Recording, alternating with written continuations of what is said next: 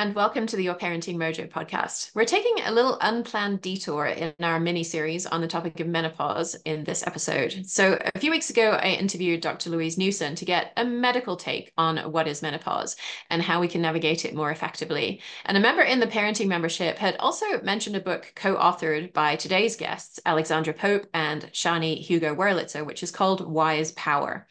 As you might expect, I usually try and read around a topic when I'm preparing an interview. So I also picked up their book, Wild Power Discover the Magic of Your Menstrual Cycle and Awaken the Feminine Path to Power.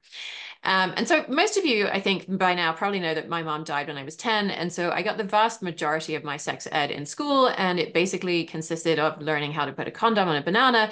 And there were lots of cautions about not getting pregnant. Um, and so I read uh, Ani DiFranco's autobiography a few months ago, actually, and she had mentioned that she often feels a burst of creativity around the time of her period. And that's, I'm pretty sure, the first time I had ever heard of such a concept. And then when I read uh, Alexandra and Sjanie's book, Wild Power, I felt really for myself an incredible sense of sadness for the awareness of my menstrual cycle that I've missed throughout my own life, as well as a sense of excitement for the potential of supporting my daughter, Carys, in having a much greater knowledge of her own body than I've had about mine. So Alexandra Pope and Sjanie Hugo Wurlitzer are the co-founders of Red School and co-authors of Wild Power, Discover the Magic of the Menstrual Cycle and Awaken the Feminine Path to Power. Their latest book is Wise Power Discovering the Liber- Liberating Power of Menopause to Awaken Authority, Purpose, and Belonging.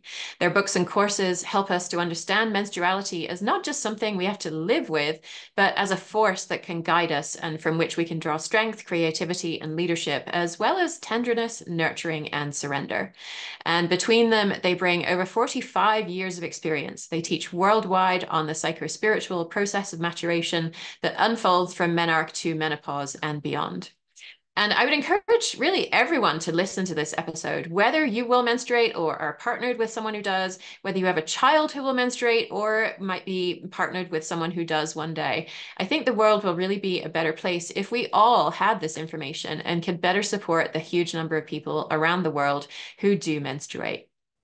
All right, welcome to the show, Alexandra and Sjanie. It's so great to have you here. Thank you. Lovely to be with you, Jane.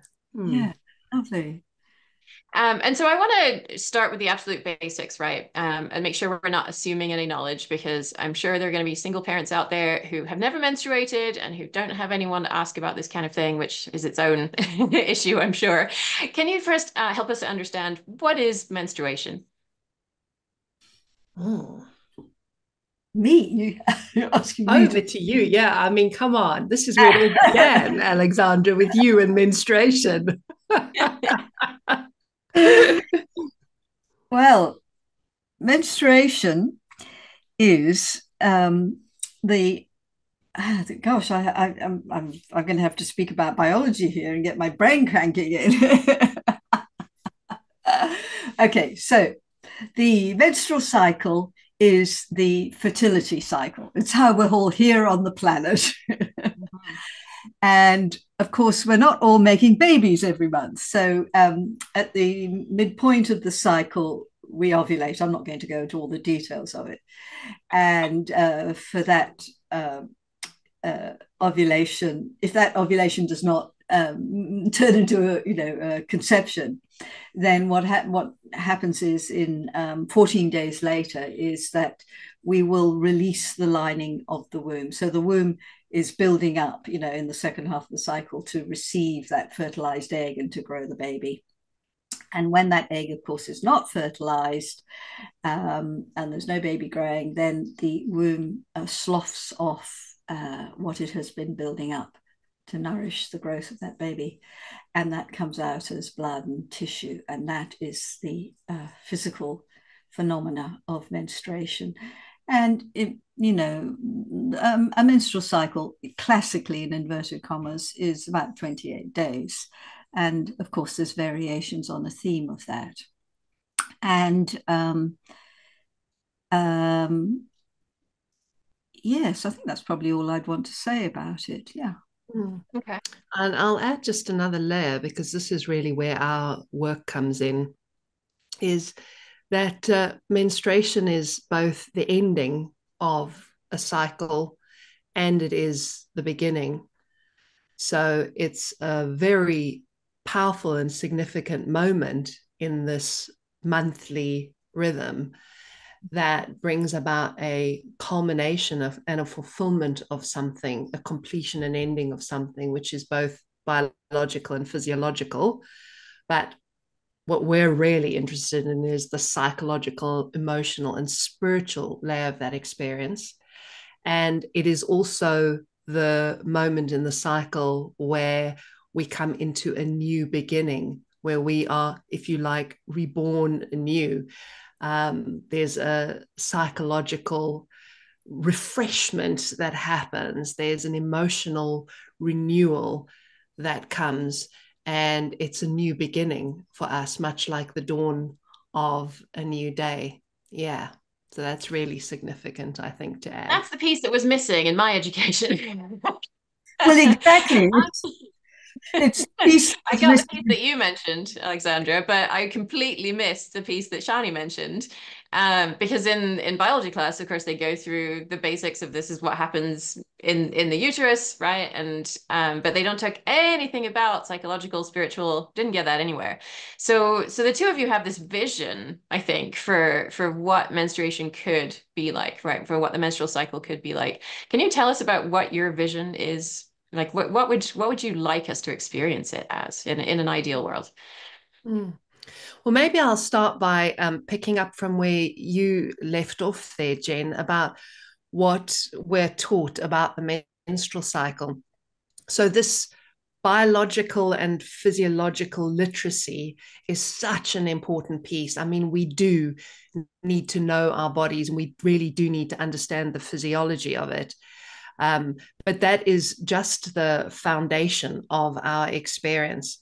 But there is this whole other layer of the experience, which we talk of as emotional literacy, which is really understanding how that physiological change impacts us mentally, emotionally, and spiritually.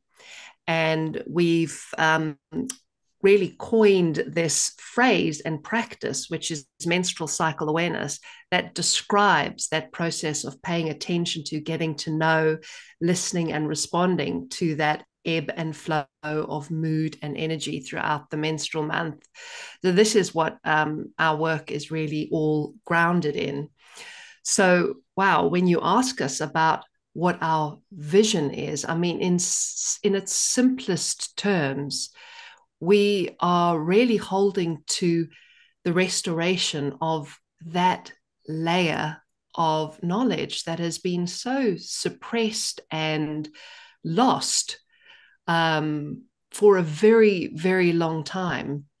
I'd love um, to come in here, Sjanie, and yeah. just add something, which is that there's a sort of you talked about you know learning about the biology of the cycle which is happening. But i don't believe they're actually taught how to really chart that experience in their bodies. You see that's this um, body literacy and emotional literacy to be able to uh, to be able to read the signs and signals of your own body so you know uh, when you're ovulating and when menstruation is due. That is a profound learning in, in embodiment, knowing yourself. And in and of itself, it's just cool. It's just, it's so, it's like, yeah, it, it, it's empowering. You're inside something. And then the layer that Sjanie is talking about here, this emotional literacy layer, or what we call the sort of self care layer of menstrual cycle uh, awareness um, just rides on the back of that, you know, embodied experience of the cycle. It's this other layer. And the two together are the most potent combination um, for, for empowerment of young women and people who menstruate. It's just foundational for our health and well being at all levels.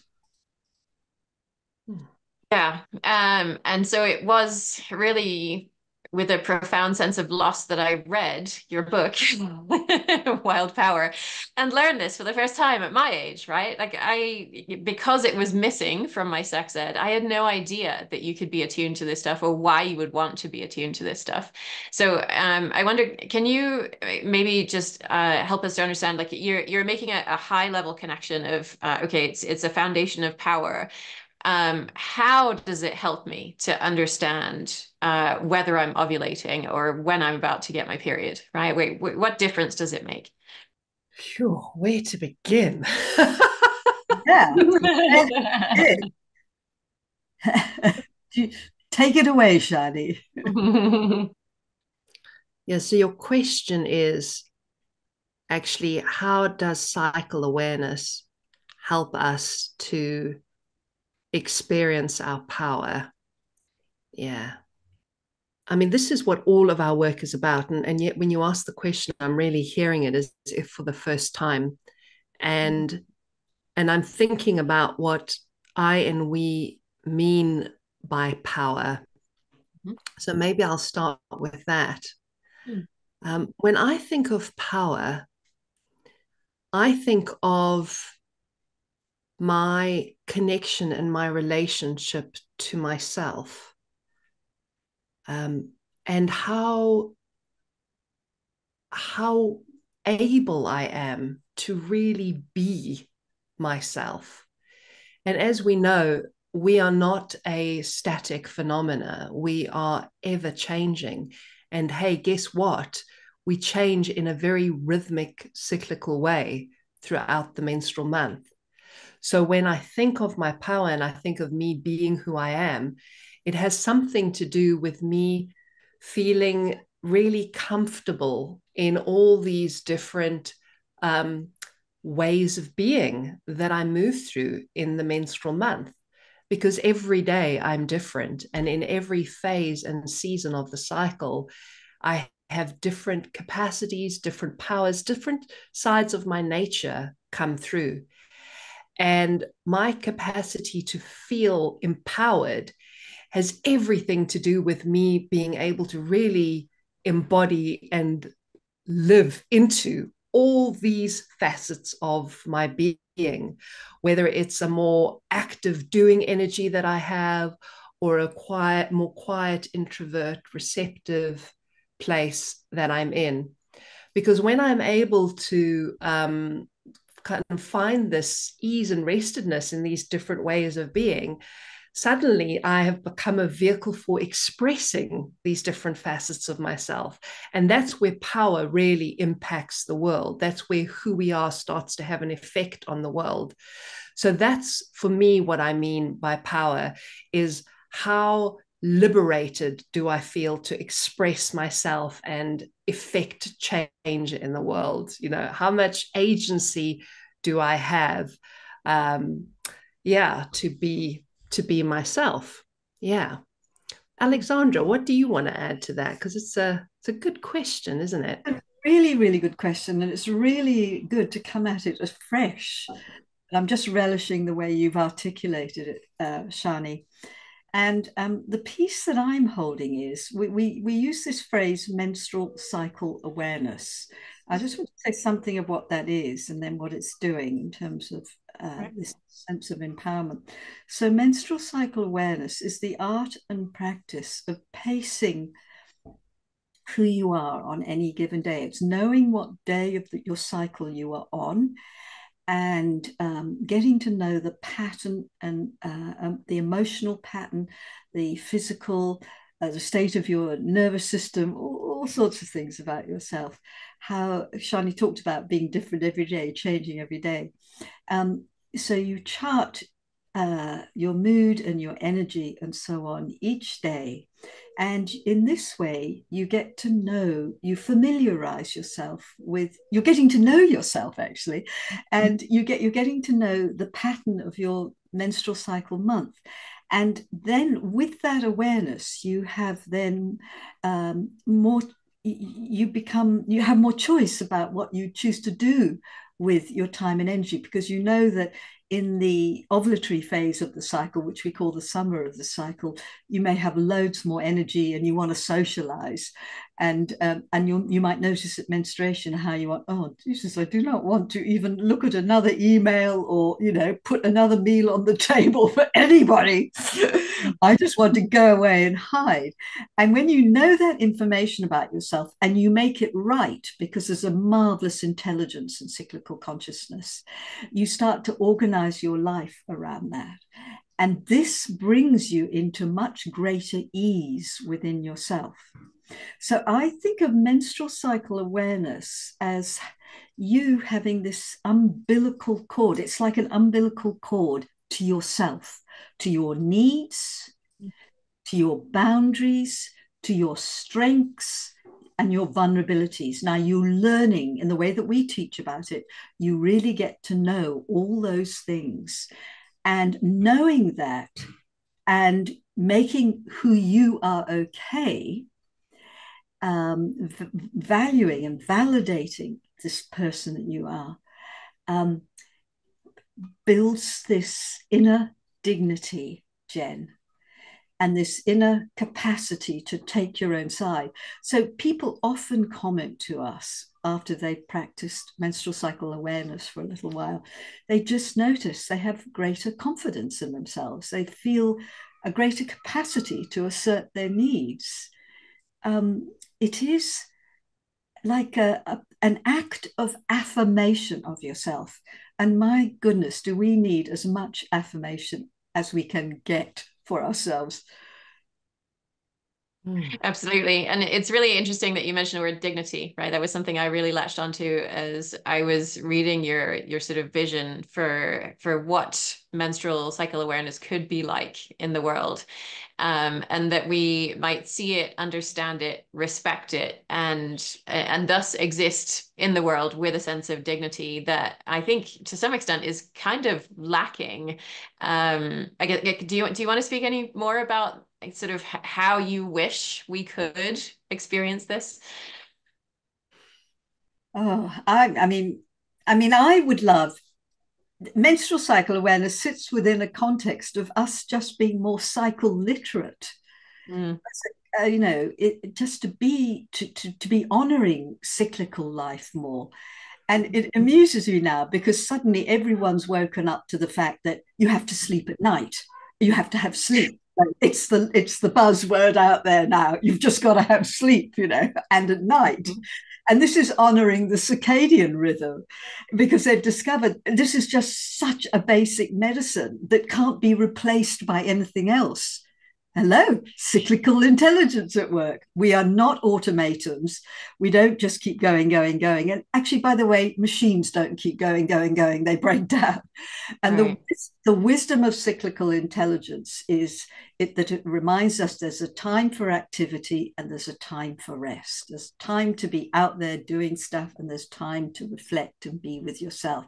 And it is this uh, respect of rhythmic life that is most needed in our times because it would then include respect for nature and nature's rhythms rather than beating nature to be constantly productive and consuming um, producing and you know but to, you know the soil needs to rest to regenerate. It's on all levels you know our soil our psyches our souls you know our bodies need this rhythmic life.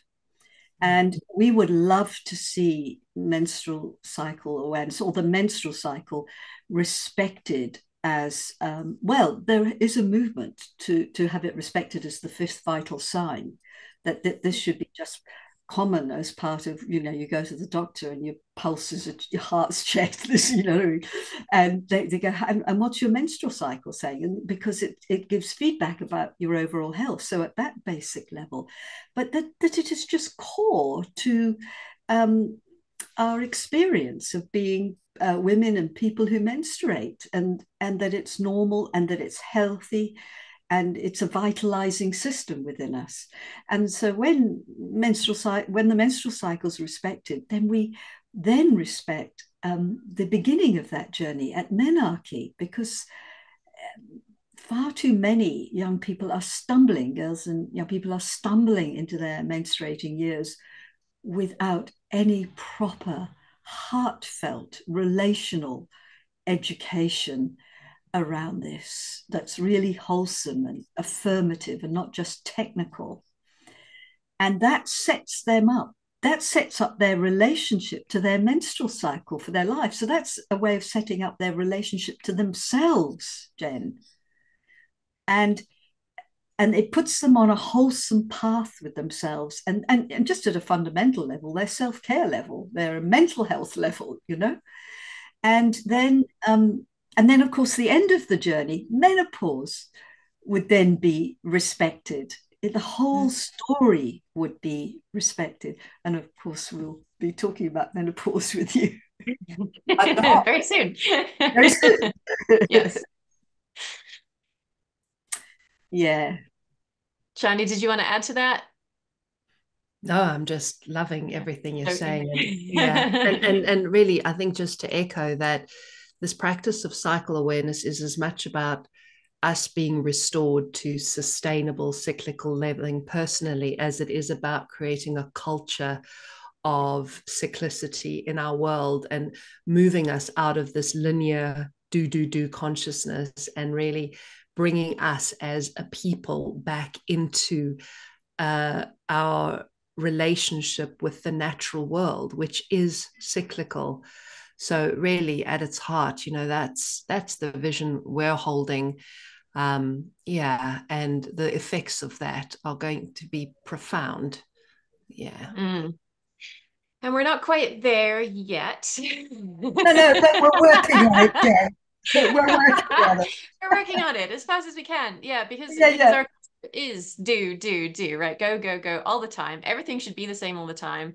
Everything should be productive all the time. Um the women should be productive all the time. People who menstruate should be productive all the time.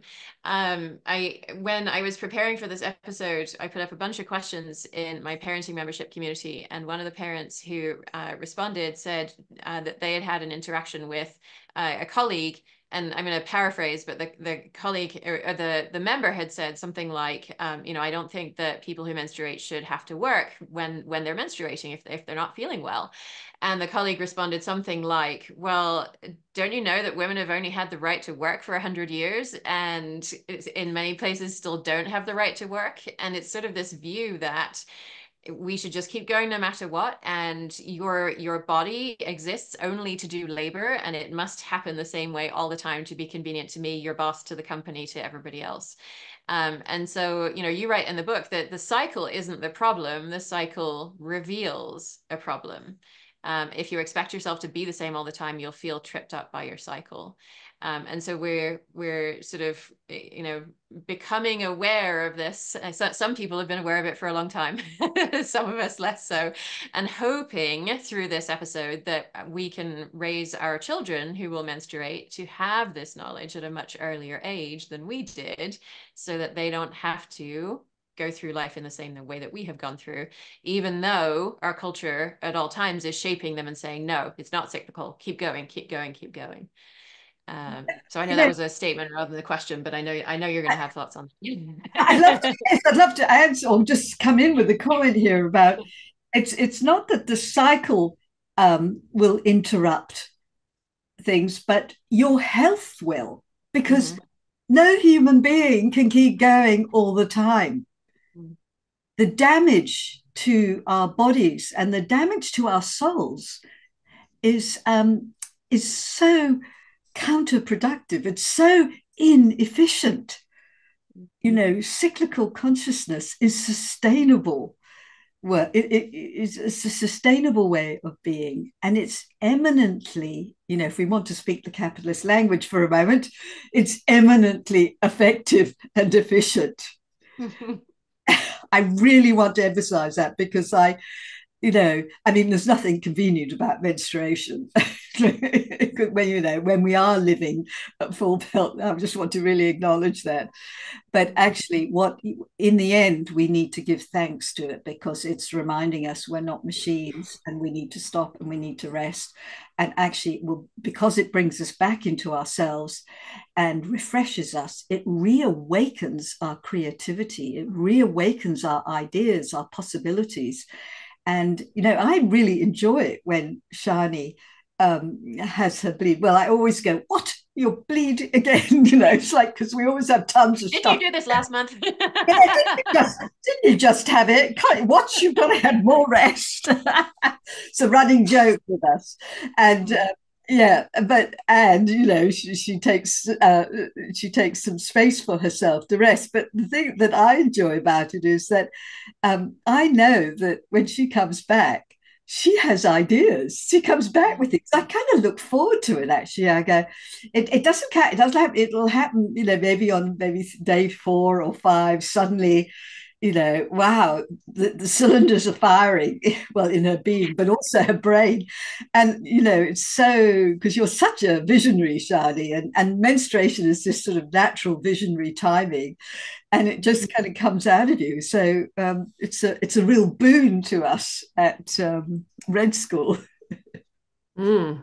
Yeah, that's such a good point, Alexandra, because when we all know this experience of like living our lives in a doing mode and nothing interesting comes in. We're just kind of on a hamster wheel and quite mechanical with what we're doing. And the moment we step out of that doing mode in our lives, whether it is to take a holiday or because we're sick or God bless us because we're bleeding, if that's, you know, ideally that's the way we come to stop um, the moment we step out of that doing mode and drop our agenda, drop our responsibilities, and just let go and have some empty space, suddenly life can reach us. You know, it really is that thing of um, all that's been kind of waiting, waiting for your attention, all the stuff that really matters, you know, the new, the emergent, the possibility, the vision, it's all been kind of sitting there waiting for you to just bloody stop.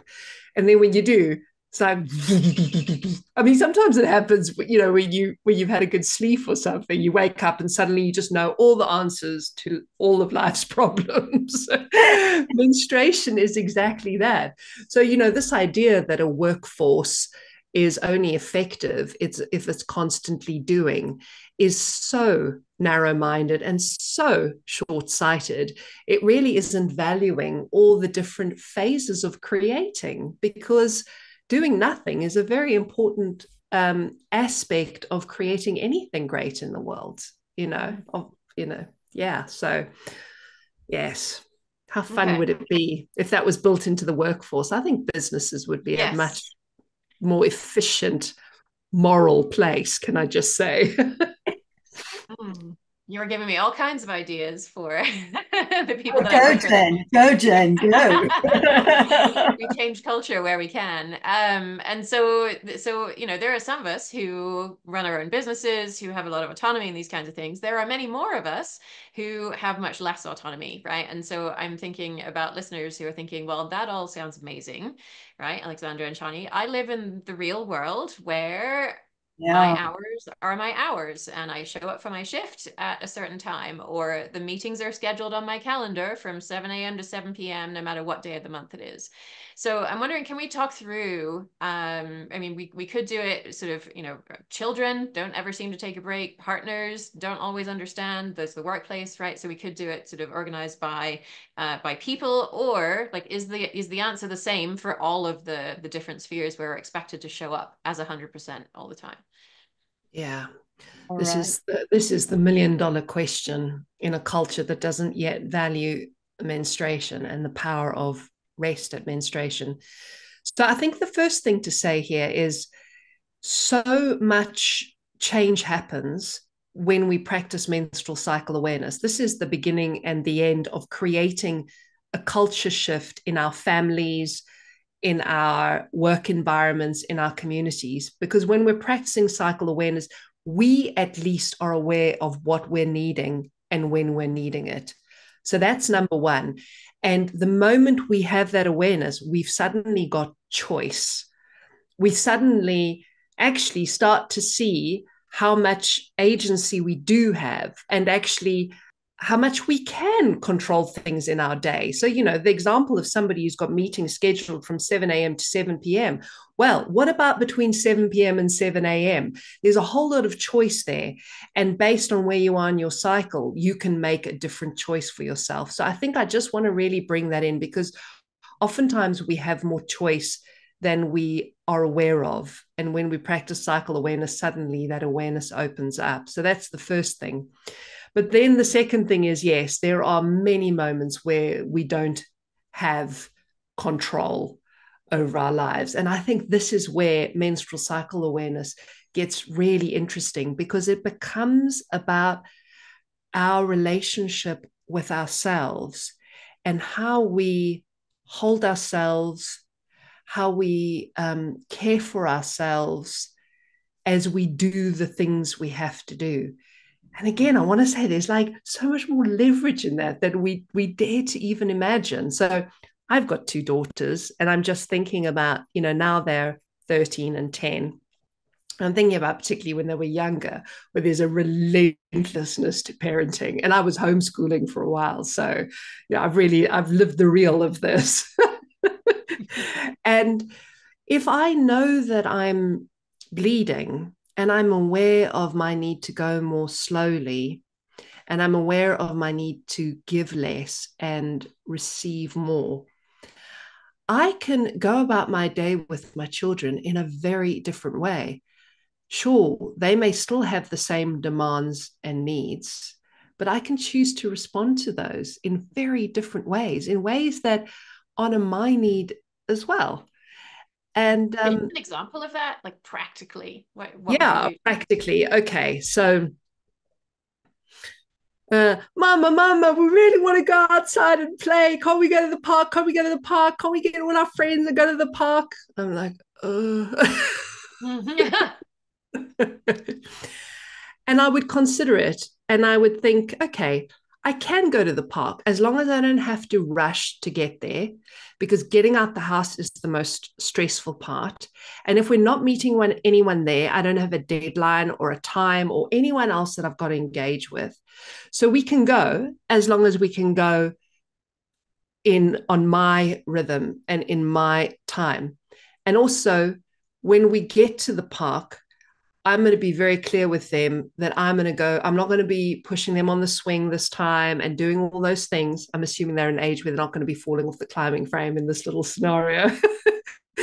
so I'm going to be sitting down and resting. And please don't ask me every five minutes to come push you because I'm willing to go to the park, but I'm not willing to do all that high energy stuff. Ooh, like I am that, not willing to. What a beautiful boundary. yeah. So that kind of little tweaking makes all the difference. And then actually going to the park could actually turn out to be really nice because I'm outdoors, you know, and my kids are happy and there's a peacefulness there. So it could actually really meet my need. Yeah. Lovely example. Thank you. Appreciate that. Yeah, I'm just thinking of the power of these micro moves that we make mm. that sourced from this all important thing of uh, recognizing you have a menstrual cycle and and respecting it and the moment you you you do that then something shifts in your psyche. And as we said earlier about menstrual cycle awareness you see you can just do that in the privacy of your own world. No one has to know not even partners you know. Mm. the moment you start to practice it it's like a whole world opens up within you and this and of course with time then this rising kind of confidence in yourself. There's some sort of momentum that then kicks off. And then it is just these tiny micro moves that happen almost by themselves. It might be a casual conversation. The words just come out of your mouth one day with your best friend you know and and who has children and you go well maybe we could um, help each other out you know when i'm menstruating you know i could call on something from you or something like that i mean i remember a, a, group of mums from a particular school did this. It came up the phrase "raise the red flag," you know. And, you know, they they could uh, they could just they had little signals with each other. So yes, they had busy lives. They rush around, and but you know they turn up at the school gates and they go, "Oh, we relate each phase to a season, and menstruation is." Um, in a winter and the premenstrual is in autumn. They turn up at the school gates going, oh, it's it's autumn. It's autumn. They go, okay, got it. You know, and they just sort of relate differently. You know, it's those subtle small things that are so mm. powerful. And equally in the workplace, in the workplace, it's a lot more edgy. And um, but there's something about your growing um, dignity within yourself that something starts to become non-negotiable that you find the gaps to a conversation. And actually, you see, conversations, I don't know about the US, but in the UK, conversations are happening now around workplace policies in the mm-hmm. UK and in Australia, big time, because a colleague of ours has done amazing work in this area. And there's a, a marvelous book of that's about uh, research that's been done and, and is being used um, to build workplace policies. It's brilliant. It's, mm. it's called it's called It's About Bloody Time is the name of the book. Yeah. It is absolutely clear this book into the research, and one of the authors is Jane Bennett, and it's so brilliantly argued. And um, you know, uh, the union organisation out there, I can't think what it's called now in Australia. Um, you know, they're sort of using it to think about workplace policies for for the menstrual cycle and menopause because menopause now is really in the spotlight and, and having policies mm. in place. I mean, in the UK, it's being spoken about at government level too now. So yeah, yeah. nobody's talking about it here, from my knowledge.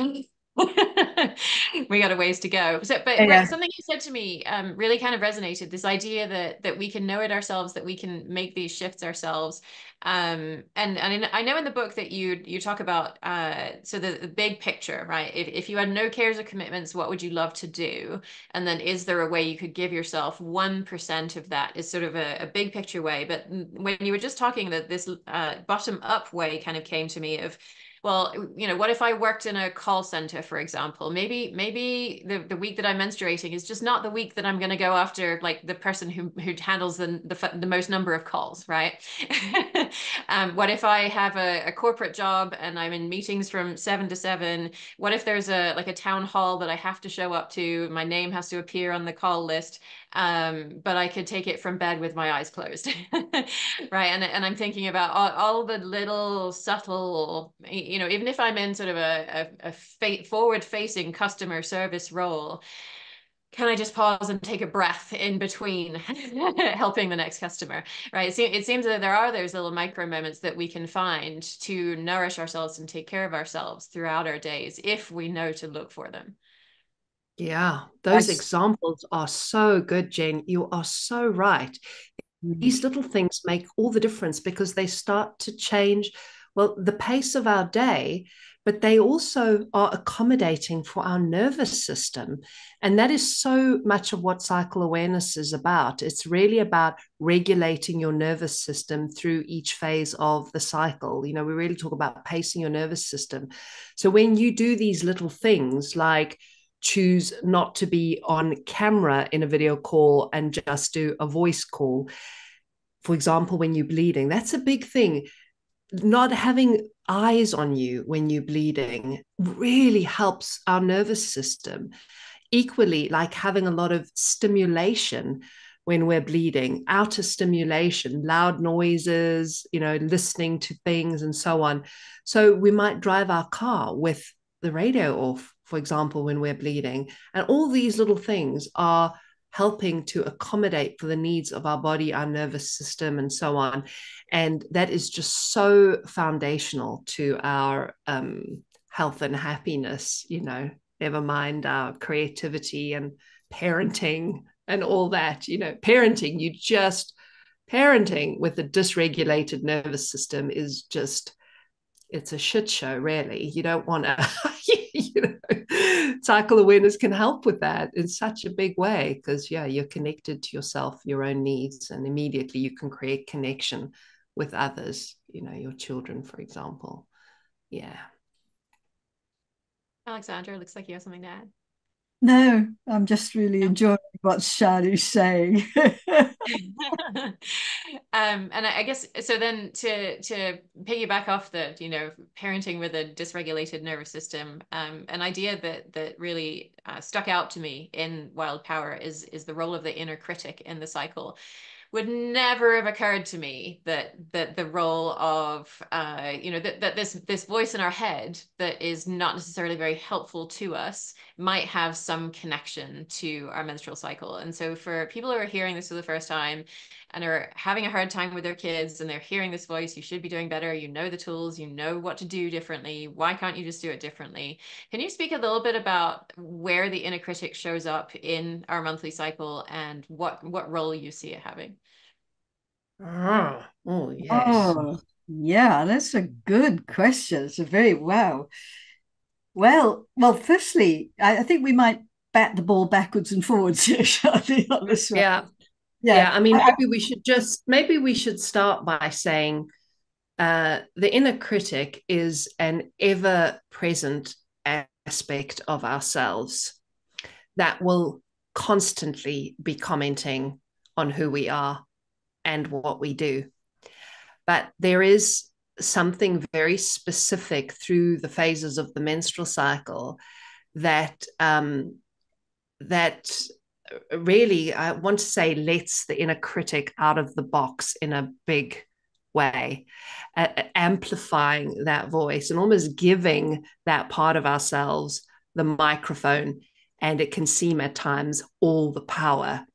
So that's something that we have become aware of through practicing menstrual cycle awareness and through all the people we've worked with is that the power of your inner critic, you know, the strength of its voice and the venom with which it speaks to you um, is affected by where you are in your cycle. And um, on in a very on a very simple level, that has something to do with um, what I was saying about our nervous system and this thing of um, how our menstrual cycle helps to helps us to pace ourselves.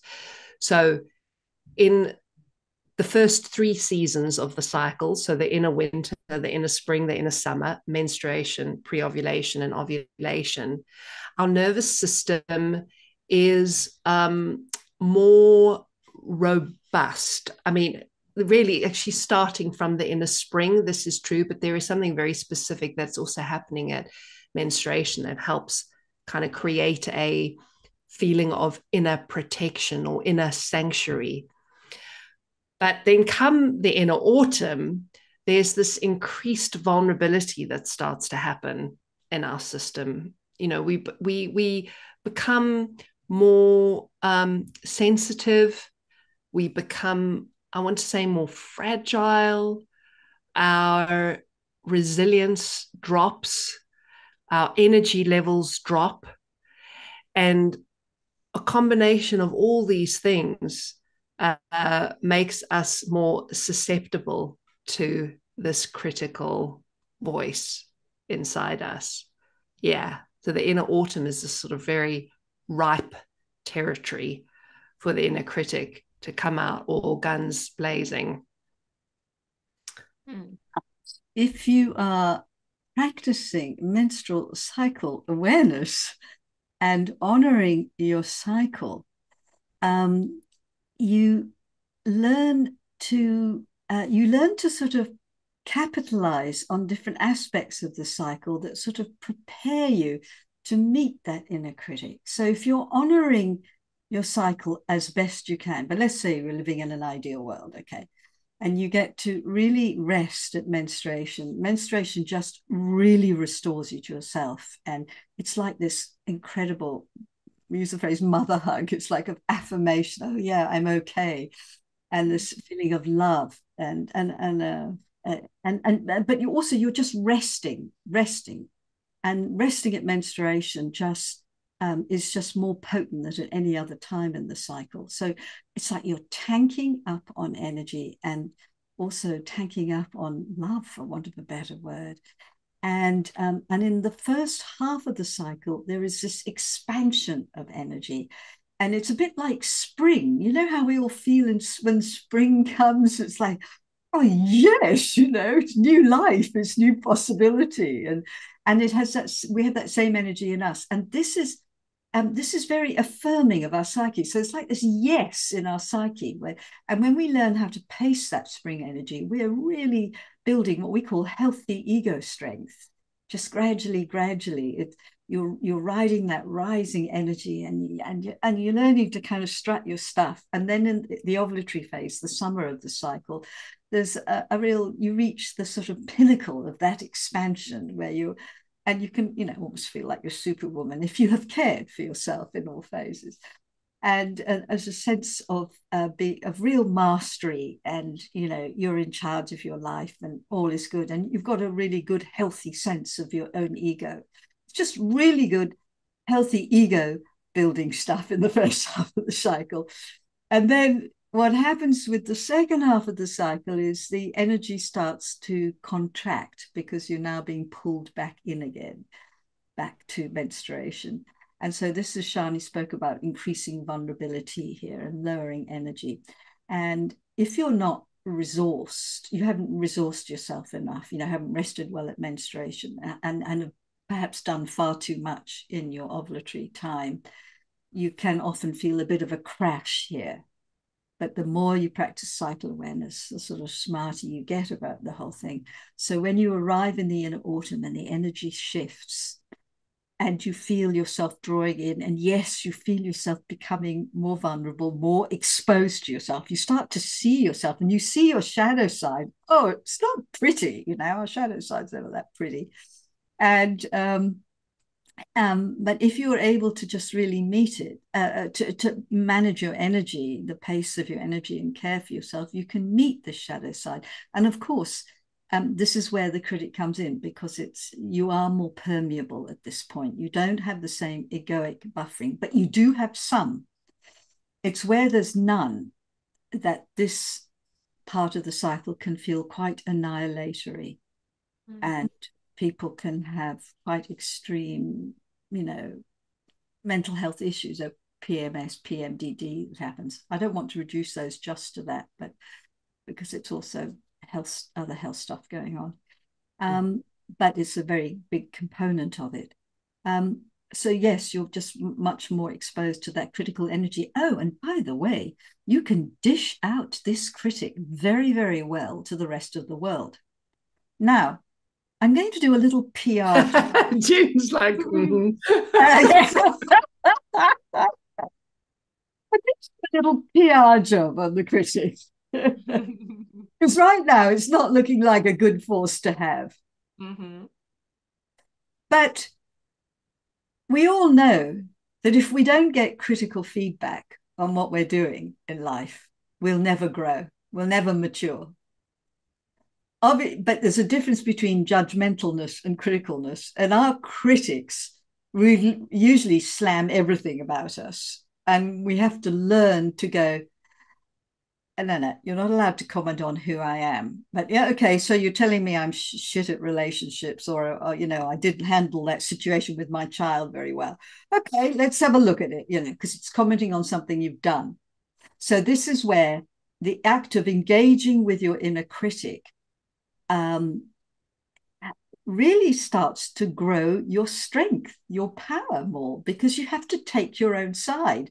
And you also have to have sufficient humility to meet that critical energy because maybe there's some truth in it, you know? And this is exactly the same with outer critics as well. So um, it applies in both situations. So, what in learning to actually um, do all that healthy self care stuff so you're in a more resourced place. This is fundamental. And you have some fundamental sense of okayness in yourself, a capacity to uh, care for yourself and assert your needs. Um, the more you can meet that inner critic in a in a creative way, and you know, uh, address what it's yeah. saying. Well, I, I, I mean, just I'm just thinking.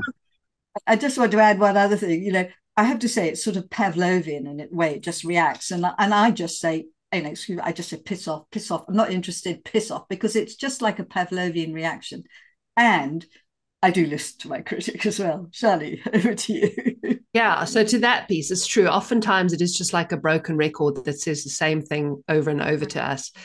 But what's really good uh, in the inner autumn, because we we are much more connected to ourselves in the inner autumn. We really are. It's a much more inner focused time. We can actually hear a, a little more closely what the critic is actually trying to say to us. So in terms of parenting, I'm I'm very grateful to my inner critic because um, aside from all the abuse that it hurls at me, when I when I can really stop and listen, it's a very good reality check um, in terms of my parenting. It can really pull me out of my own sort of um, my own patterns, my own conditioning, my own sort of automatic habitual ways of doing things that are probably, you know, inherited from how my parents parented me and are probably coming from a sort of wounded place rather than a conscious empowered place so my inner critic really pulls me up on that it and and kind of gives me this reality check and gets me thinking more creatively about what I'm doing and how I'm doing it. And in some ways, this is, I think, what conscious parenting is, is actually letting the voice of our inner critic have time and space enough that we can reflect on our own parenting and reflect on ourselves as parents and our own conditioning and our own wounding and, and so on and so forth. But having said that, to do any of this, you do need time and space for yourself. Um, so the inner autumn actually means you need better boundaries with around parenting that you aren't available all the time um, that you get help in or you call on other people or you you create situations in your family life where you can step out and have this time and place for yourself. You know I, I think so many mothers are really relieved to hear that the inner summer of the menstrual cycle is when we can be the kind of mother that we're supposed to be in inverted commas, you know, like super mom. We do everything and we're amazing at it all. We're spinning, you know, with the house, thinking we're just rocking it. That's, you know, the kind of mother we all think we should be, the ideal mother. Well, the good news is we're only supposed to be that kind of mother for one season. and, and in the autumn, we're a different kind of mother. We're a more boundaried, more detached mother. We're a mother that tends to our own needs. You know, where we we bring a different kind of consciousness and presence, and we aren't all about the giving. We're now about giving some responsibility back to our children and our partners, and you know, extended family or whoever the heck we can call on. Um, so yes, there's there's we we we are different mothers at different times, and I think that's quite a relief for a lot of parents to know. So I, I so appreciate that that thinking on the inner critic, and it kind of brings me to this idea of I, I'm kind of wondering: Are there any people for whom it maybe doesn't make sense to track their menstrual cycle awareness? This has been a huge topic of conversation in the parenting membership community ever since I announced that I was going to interview you. And there are some people who said, you know, I've had heavy periods my whole life, maybe up to 12 days, um, and being on the pill has finally evened things out, and I'm not as moody as I was was and it's not as long as it was. Uh, there are people who have experienced miscarriages, losses, right? And and this is just an incredibly painful thing for them to go through when when they get to their bleed every month and it reminds them of the grief and, and the loss that they felt in those difficult periods. And so I'm I'm wondering, is there anyone who doesn't benefit from this? And what would you say to somebody who's in one of those positions? I actually want to add infertility to that. People absolutely, yeah. Yeah, menstruation is just the pits. Yeah. Yeah. It's interesting. It's a big question there. And um, just really, you see, the thing is, um, the awareness, not being aware of the menstrual cycle, I think creates m- more tension and stress in our systems. and that that then works against us. Um, so the act of menstrual cycle awareness um, is an act or it's a medicine in and of itself. Um, um, for all the reasons that we have spoken about so far. And um, it's, I, I, want to say, it, it when you're practicing cycle awareness, it becomes a kind of container that holds you.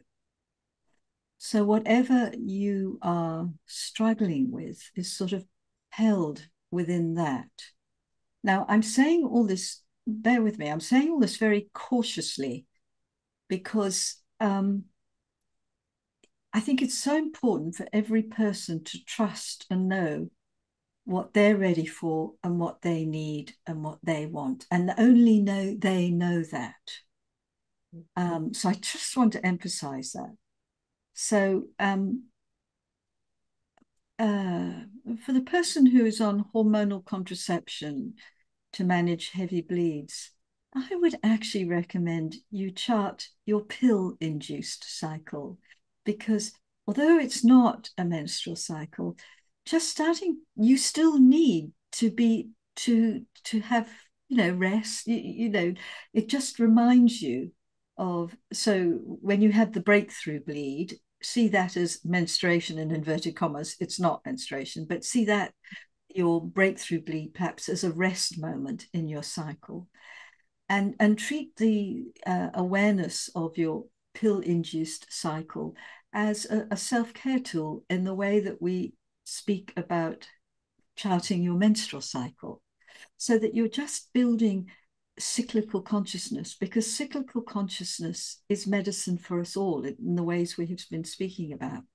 so um, don't bully yourself to say oh i should come off the pill and don't do that just start practicing um, charting your pill induced cycle and uh, do you want to come? You come in here, Sjanie. Yeah.